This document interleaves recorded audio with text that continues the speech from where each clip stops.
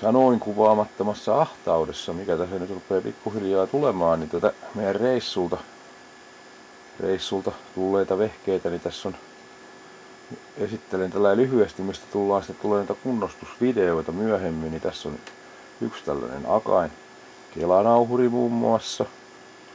Ja tota, aika siistissä kunnossa. Täältä huomattavan komponenttilejan alta löytyy tämmönen italialainen Unaoomin TV-mittalaite.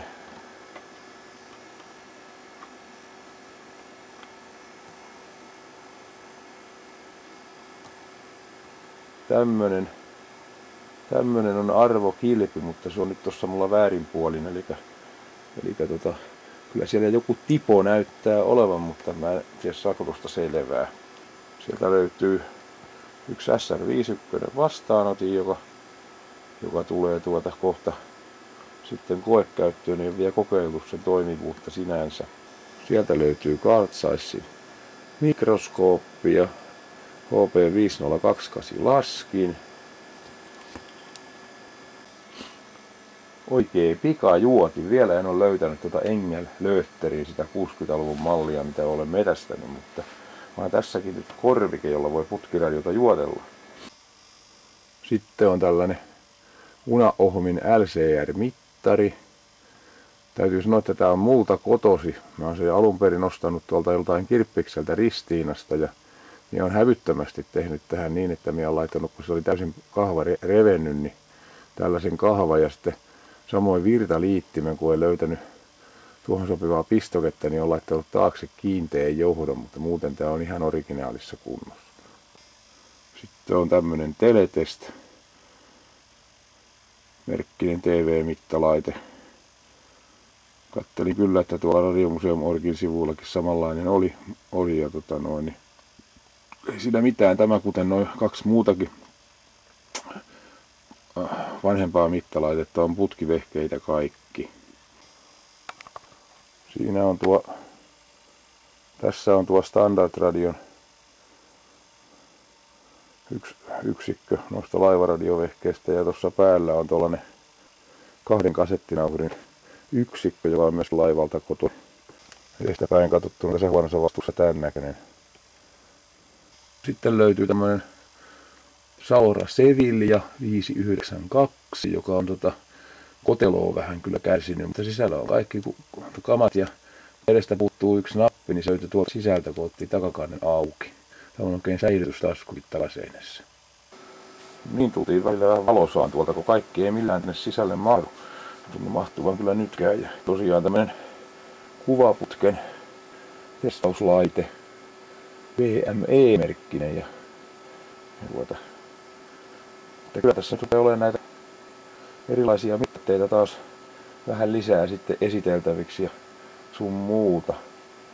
Jatketaan tämän työpöytään liittyvän härvelin kanssa.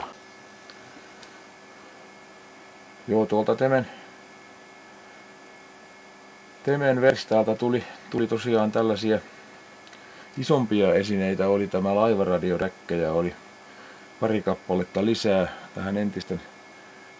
Lisäksi sitten jossain vaiheessa yritetään sovitella, sovitella niitä ja sitten tämmönen Teklapin työpöydän tämä taso, mitä nimeä sitä nyt sitten käytetäänkin, jossa on tosiaan nämä muuntajat ja liitännät ja muut, niin tota, mä oon näitä nyt tähän omaan työpöytääni niin tätä putkiradiohommaa ja muuta tämmöistä vanhan entisöintiä varten, niin otin sieltä sitten pari yksikköä. Siellä oli vähän jotain virheellisiä johdotuksiakin. Tämäkin oli todennut sen alun perin, että niissä oli jotain hämärää, kun varjakin kytki, niin tuolta räppäs sulakkeen auki. Ja jo, no ei siinä mitään. Mulla on nyt aikomus, aikomus tästä tehdä semmosia muutoksia, että mä oon tämän työpöytäni, työpöytäni vähän tyhjentänyt tästä ja tuosta nyt vilkastaa seuraavaksi sinne.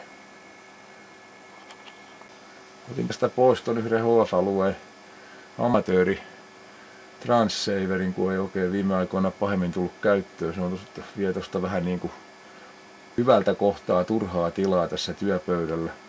Se työskentely muutenkaan multa oikein onnistu, samaan aikaan noita radioita käyttää. Niin ajattelin tähän läntätä sitten näitä pari yksikköä ja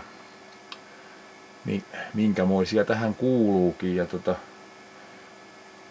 tässä on tietysti ajateltu tässä työpöydässä alun perin, että kun tässä on, on tota, tollanen ihan samanlainen yksikkö kuin mulla on tässä työpöydällä nyt, mutta tota, että, si, että se, tota, no, niin se olisi se liitäntäyksikkö ja siinä on vieressä tämä variakin paikka sitten ikään kuin ajateltu, koska variakissa itsessään on kovin lyhyt tuo liitäntäjohto, joka pitäisi tulla taas sitten siihen kiinni, niin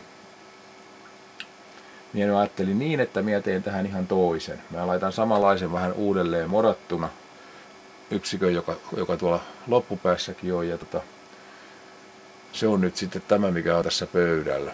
Eli tähän vaihdoin keskenään nämä rasiat, kun täällä oli alun perin edessä tuo sukorasia ja, tää, ja täällä oli takana oli tuo, onko, sanotaanko tätä nykyään nollaluokan rasiaksi tätä vai miksi tätä sanotaan, tätä tavallista pistorasiaa. Ja, ja tuota, vaihdoin ne keskenään ensinnäkin. Ja sitten on aikomus tehdä niin tästä semmoinen toteutus, että tämä on lähes samanlainen kuin alun perinkin, että tämä varjakki, mikä täällä takana on, niin tota, se tulee tällä vaihtokytkimellä, niin kuin tässä on ollutkin, niin purkasin nämä johdatukset vaan täältä pois, niin se tulee sitten valittavaksi niin, että tähän etuseinän yksiosaiseen pistorasiaan tulee, tulee joko tota, on yhdessä asennossa poikki tai sitten tulee joko toi, suoraan toi 230 verkkojännite tai sitten tuon varjakin perästä riippuen tuon kytkimen asennosta ja puolestaan tähän tulee koko ajan sitten tuo 230 muuntajan perässä oleva systeemi ja tämä sulakesatsi on kaikkien tämän yksikön, yksikön tota noin, niin virrat sitten katkaiseva sulake.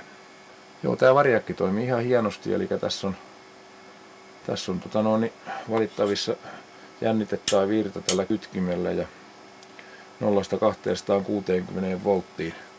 Ihan kätevä vehje tähän nyt sitten tähän putkiradio, putkiradiorassaukseen. Täällä on hyvälaatuinen meikäläisen piirtämä kytkentäkaavion hahmotelma tästä, kuinka tämä pitää kytkeä. Niin siinä on muutama ylisutattu viivakin sitten. Ja sitten toinen muistiinpano havainto tästä kytkimen navoista minä en tiedä kyllä, vaikka on sähköasennushommia aikanaan kamalasti tehnyt, että onko kai näillä joku standardit, näilläkin on niin kontaktorin numeroinnillakin, mutta kyllä se piti yleismittarin kanssa käydä läpi, että sen sai niin tumaan. Tähän jäi tästä vallan vielä näyttämättä tästä esittelystä tämmönen, mikä tullaan kans myöhemmin esittelemään Metrixin, Metrixin tota MX202 Vertta yleismittari, joka näytti toimivan. Otin tämän kumisuojuksen sitä pois katsoakseni, että mikä patteritilanne. Patteri täältä puuttuu sisältä, se on vähän eksoottisen mittainen. Se pitää siihen hommata.